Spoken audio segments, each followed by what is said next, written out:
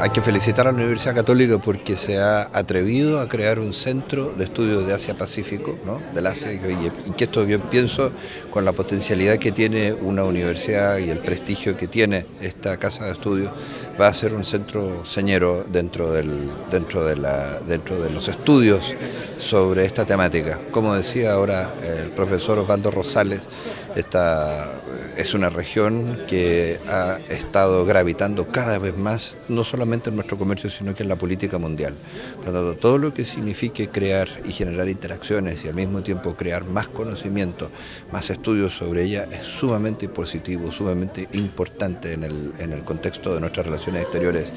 tanto presentes como futuras. Y el otro elemento que creo que es central esto, dado que es algo que nace dentro de la academia, pienso que tiene que ser dinamizador para la creación de redes académicas, de más estudiantes, más investigación conjunta que pueda dinamizar la relación en su conjunto entre Chile y los países del Asia.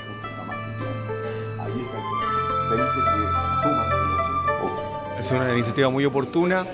particularmente al realizarse en un departamento de historia porque, como mencionaba la intervención, lo que está cambiando es justamente eso, la historia. El, eje económico del mundo, sin ninguna duda, se está desplazando al Asia-Pacífico, a China en particular, pero también gracias a las cadenas de valor que China construye con el resto, con Corea, con Japón, con Singapur, con Tailandia, etc. Y por lo tanto hay que entender esa realidad. Y eso significa, en lo que hacen nuestros países, desafíos muy importantes para sus políticas públicas, de manera de aprovechar esa nueva realidad Está creciendo mucho el comercio con esa región y esa es una buena noticia, pero hay que diversificarlo mucho más. Está creciendo mucho, pero sobre la base de pocos productos, recursos naturales, con bajo grado de elaboración, poca generación de empleo, poco efecto distributivo. Lo que necesitamos es algo distinto, necesitamos aprovechar ese gigantesco mercado que crece y crece, con más productos, con más empresas, generando más empleo y mejor bienestar para el resto de la población.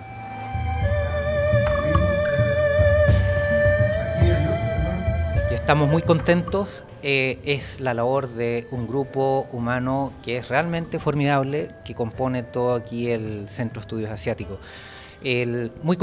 muy contento de, haber llegado a este paso y que de aquí en adelante tenemos bastante que hacer, que es, ¿no es cierto?, seguir adelante con el trabajo y seguir, eh, sobre todo, dándolo para Chile y queremos también para Iberoamérica, porque hay mucho que dar.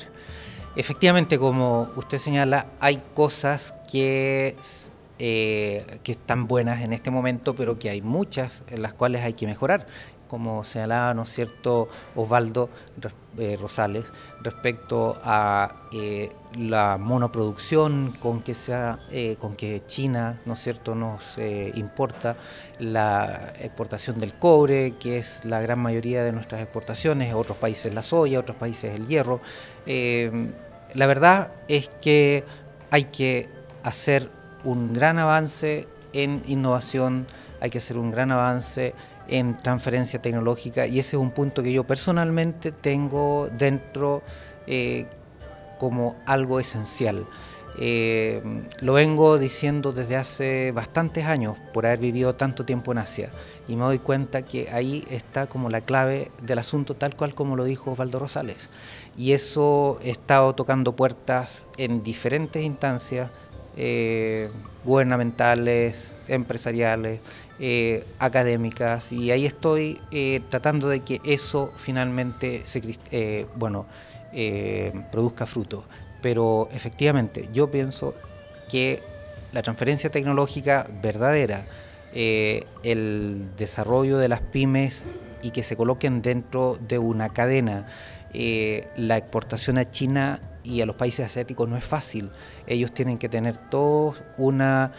un conocimiento que no lo tienen en este momento. Entonces es casi, eh, ¿no es cierto?, ir al Asia es que los desplumen